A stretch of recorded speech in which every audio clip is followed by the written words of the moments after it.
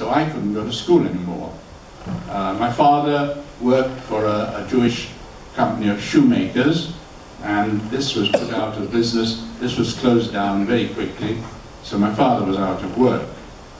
The Nazis' objective was actually to rid Eisenstadt, Burgenland, the whole province of Burgenland, to rid them of entirely of Jews. This was really ethnic cleansing, if you like. So we, along with the entire Jewish community of uh, Eisenstadt, we were compelled to leave everything behind in September 1938, leave our home, leave our belongings, and move out. And what we did, what my parents did, they found a small flat in, in this building here in, in Vienna, in what is today, what was then also, the, uh, uh, the so-called Jewish quarter of Vienna. Um, we lived on the second floor in a small flat there, and uh, uh, during this time, my father was making desperate efforts to obtain an exit visa, uh, either for England or the United States or for Palestine. Whichever came first, this is what my father was prepared to take. Uh, he, uh, he was imprisoned for a few weeks. Luckily, he was released. Uh, anyway, suddenly, on the 9th of November, 1938, came Kristallnacht the night of broken glass. An orchestrated attack by Nazis on Jewish property in Germany and Austria. Synagogues and other Jewish buildings and shops were attacked, ransacked, pillaged and burned. We lived in this street uh, and there was actually a synagogue in the street that we lived in. And on that night, on the 9th of November, when I looked out of my bedroom window from the second floor, down in the middle of the street below our, our, our building, there was a bonfire of Torah scrolls and prayer books which had been set by the Nazis and which was burning there in the middle of the street. Now, the reason, the reason, the reason for this uh, attack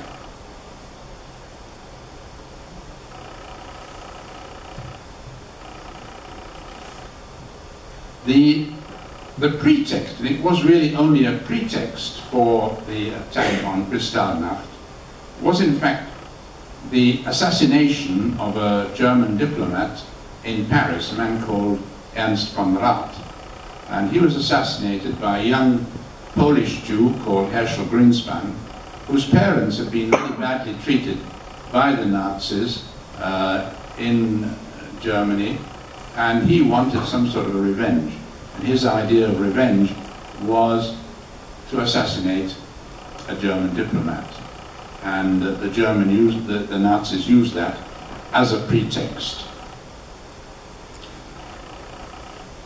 The, we know that it was a pretext because, in fact, we know that the police and the fire brigades in Austria and in Germany had all been given instructions to uh, not to interfere with, with, what was going to happen uh, on the day, on the two days, the 9th and the 10th of, uh, of November. So, what happened in fact then, you can see that, that's one of the synagogues, but this one not, is not in, in, in Vienna, this one is actually in Berlin I'll come back to Mr. Neville Chamberlain in a moment. This is more or less the result of Kristallnacht in figures. Seven and a half thousand businesses were destroyed. All those synagogues burned, of which 177 totally destroyed. And worst of all, 91 Jews had been murdered during that period of Kristallnacht. But they say that every cloud has a silver lining. And the events of Kristallnacht acted as a catalyst in certain quarters of this country, of the United Kingdom. And the concept of the Kindertransport, in fact, was formed. So let me try and explain what happened. Uh, the word Kindertransport is, the, is also, the, the other word is also the Refugee Children's Movement, is the name given to the rescue mission that took place nine months prior to the outbreak of World War II.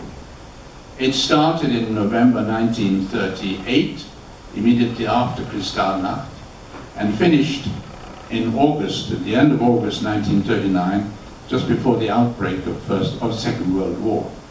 And what happened during that period, uh, about 10,000 children, predominantly Jewish children, were rescued from Germany, Austria, Czechoslovakia and Poland through this Kindertransport movement. Uh, on the 15th of November 1938, just after Kristallnacht, a delegation of leading British Jews went to see Neville Chamberlain, who was the Prime Minister at that time, and they appealed to him, asking him to allow Jewish children between the ages of 3 and 17 to be allowed to come to the United Kingdom for a temporary period that they would go back or return or leave the country again after the crisis. Chamberlain turned down this delegation. He refused the request. He said, Hitler is someone with whom I can do a deal. Luckily, a few days later, a group of influential Quakers went to see Sir Samuel Hoare, who at that time was the Home Secretary, and who himself came from a Quaker family. And he, together with another Quaker, Philip Noel Baker, they then went to see the Prime Minister and tried again. And this time, they succeeded in persuading Chamberlain to change his mind. The Cabinet debated the issue a day or two later, and it was also then debated in the House of Commons. And finally, the government agreed to allow the immigration of uh, children between 3 and 17, and no limit was placed on the numbers at that time. Now, the Quakers were terribly important in all this. The Quakers influenced the Prime Minister. They made the plan work. They were at stations in Germany, Austria, and Czechoslovakia. They were at the Hook of Holland, the port from which uh, the ship sailed towards Harwich. They made sure that children got onto the ship safely. And they were at Liverpool Street Station in London, making sure that there was somebody there to meet the children when they arrived. And equally important, they paid money, because at that time the government were asking for a guarantee of 50 pounds per child. And 50 pounds in 1938, 39, is like 3,000 pounds in today's money, an enormous amount of money really. And the Quakers paid that quietly for something like 7,000 children. Very, very important feature.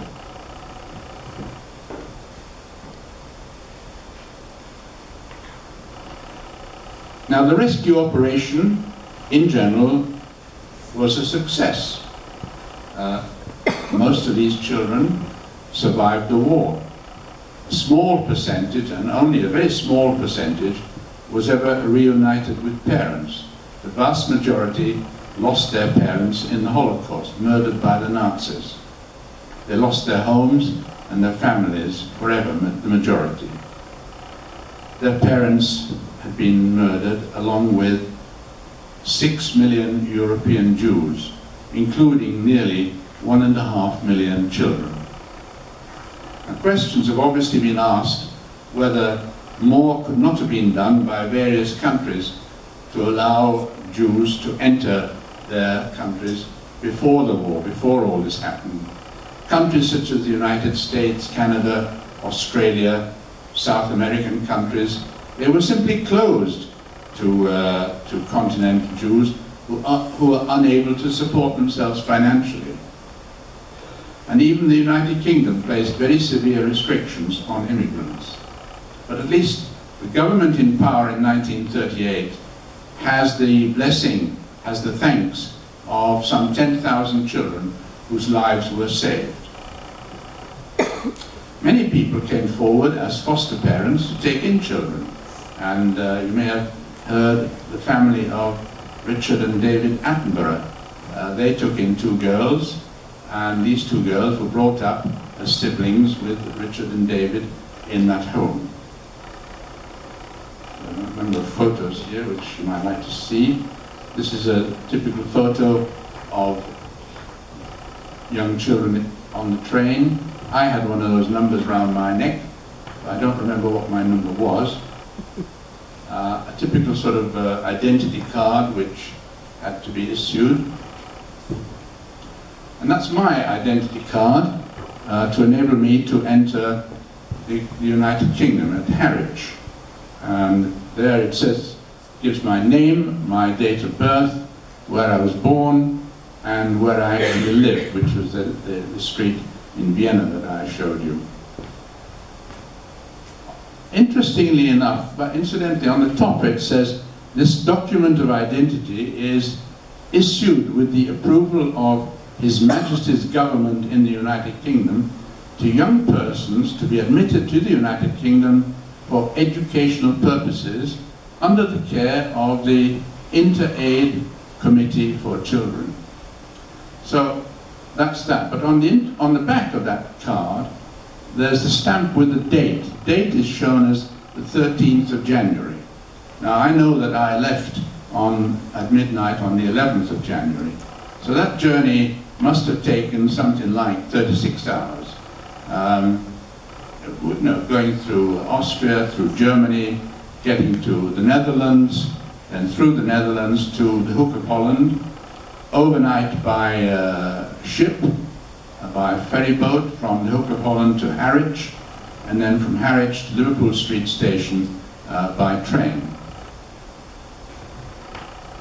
In Liverpool Street Station, have any of you seen this statue in Liverpool Street Station? Nobody? You have? Right.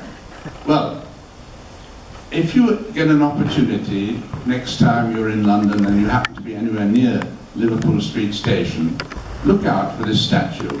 It's a very lovely statue showing a group of children with suitcases and uh, the names of the cities from which they came.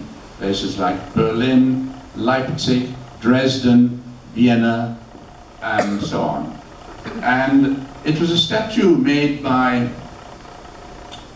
uh, an Israeli uh, sculptor called uh, Fritz Meisler. Meisler himself came from, on the Kindertransport, he came to England from Danzig in Poland, and uh, uh, there are in fact now four statues similar to this in four different places. Uh, in addition to Liverpool Street, there's one in Berlin, there's another one in Danzig itself, which is where he came from. And the fourth one is, in fact, at the Hook of Holland. And this is a, a newspaper cutting going back uh, until to, uh, uh, the 70-year commemoration of the Kindertransport.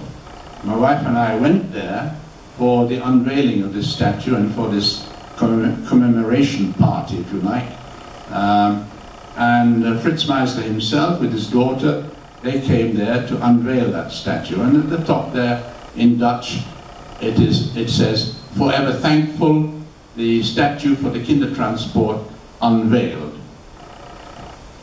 This is another one. Uh, yeah, and this is uh, my family, but let me come back to that later. So,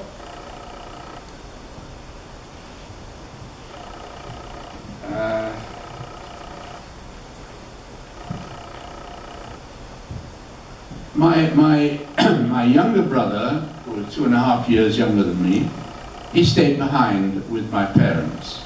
Now, my parents, luckily, were able to obtain a visa to come to the United Kingdom, and they came about two months after my arrival. uh, the condition for them to allow, be allowed to come, they had to work as domestic servants. And uh, they worked uh, for two doctors uh, in a small place near Leeds, a place called Eden.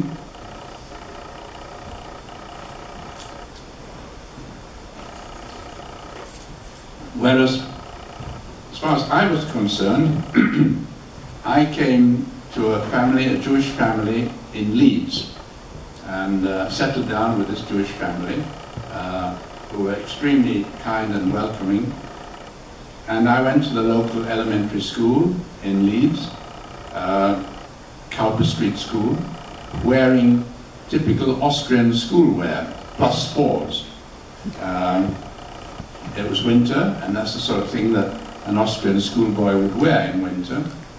Um, obviously, that made me the center of attention, and also the fact that obviously I couldn't speak a word of English at that time. Um, luckily, one of the teachers in the school was Jewish, and he spoke some Yiddish. Yiddish has some semblance to German, so we managed to make ourselves understood. And as far as I was concerned, within a matter of weeks, I was speaking reasonable English, good enough to uh, communicate with my peers. How many of you are not born in this country? Quite a number. Wow. And how old were you when you arrived? Five. So you, you must have experienced also the fact that you had a problem, you, had, you spoke no English when you came, presumably, and you came here, and you then uh, had to settle down with friends speaking a foreign language. And I guarantee that, like me, you learned to speak English within weeks at school with all your friends. Am I right? Yes. So, and nowadays, you are all typical English schoolboys and schoolgirls. Exactly the same as happened to me in those days. So, at the outbreak of war in uh, September 1939, I was evacuated to Lincolnshire to live with a farming family there who obviously didn't speak a word of German. And uh, so my, my English improved very rapidly, but my German also deteriorated because if you're not using a language, you lose it. And uh, this happened to me. Now, this, this became quite dramatic because after, my, I, after I'd been there about four months, my parents came to visit. And although my father had managed to get some English uh, and spoke with some uh, effect, my mother was very poor at languages altogether. And so what happened? what happened was that um, she spoke to me in German, which I understood perfectly well, but I replied in English, which was now becoming my first language. And she did not understand what I was saying.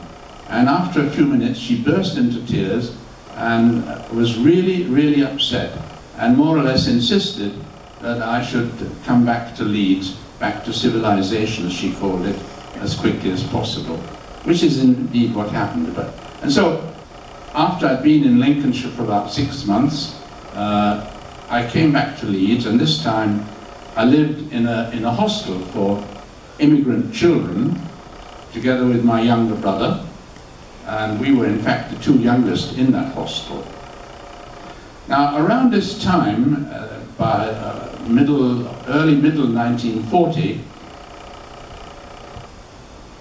Austrian and German Jews adults were being interned. Have any of you heard about the internment of so-called enemy aliens? No, now it is, this, is, this was a very serious feature. In uh, German Jews and Austrian Jews had much more reason to uh, hate the Nazis than the average Englishman. But the government was worried that there might be some sort of spy elements among them, that some might be not sympathetic to uh, the English cause. And so Churchill at that time said, collar the lot, put the lot behind bars. Well, it wasn't quite bars, but so what happened was that all these enemy aliens, and my father at that time, because he was Austrian by nationality, he was considered to be an enemy alien. All these people were then interned, another word for imprisoned, if you like, a rather gentler form of imprisonment. They were interned either to the Isle of Man, or they were sent to Canada, or to Australia. I mean, there is the dreadful story of the ship, the Dunera, uh, which took a shipload of uh, uh, Austrian and German Jews to uh, Australia, and these people were extremely badly treated. This is a well-known thing. If you're interested in that, look under Dunera on the internet and you'll find the story there. Anyway, my father was interned. He spent a year, more or less, on the Isle of Man. But after a year, came back to Leeds. They were released. Uh, the government suddenly realized that they'd made a mistake and uh, allowed these people back. Many of them went into the army. My father went, came back to Leeds and started to work in war work, munitions production in Leeds. Um, my, mo my mother continued to work in domestic service, and of course my brother and I were still living in this uh, hostel for children. But by about uh, late 41, early 42, uh, my parents managed to scrape together enough money so that they either rented or bought, I'm not quite sure what it was, a small house, and we lived together there for the first time in a couple of years. We lived together as a family then. And the time came for me to take the 11 plus examination to get me to a grammar school for grammar school education. And the problem was that I then failed that exam. So the choice, if I wanted to have a grammar school education, the choice was my parents could pay. Now this, the, the grammar school in North Leeds where we lived, Roundhay School, they wanted 15 pounds a term, which was a lot of money for my father in those days. The Cockburn High School in Leeds, in South Leeds, however, they only wanted five pounds a term. So that's where I went. And so every day I had to cross the centre of Leeds from north to south and back again. Um, and this went on either by tram or by bicycle, depending on my age. And uh, so that's how it went. Luckily, by the time, by a couple of years later, I had a second opportunity for uh, an examination to, to obtain free education, and this time I passed. So the remainder of my education in Leeds, Cockburn High School, was free. Now this, by the way, is uh, a family, my, my, my, family, my mother and father with my younger brother, uh, taken when I was probably about 10 or 11 years old, I don't really know exactly when. And the next one is of interest to you. That's the Cockburn High School first 11 football team. Now there are no prizes, but who can uh, find me on there?